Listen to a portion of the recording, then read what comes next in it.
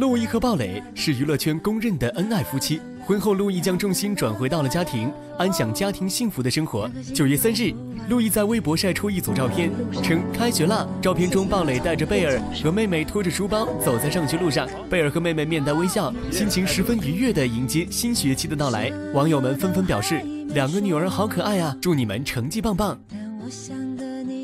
非凡娱乐整理报道。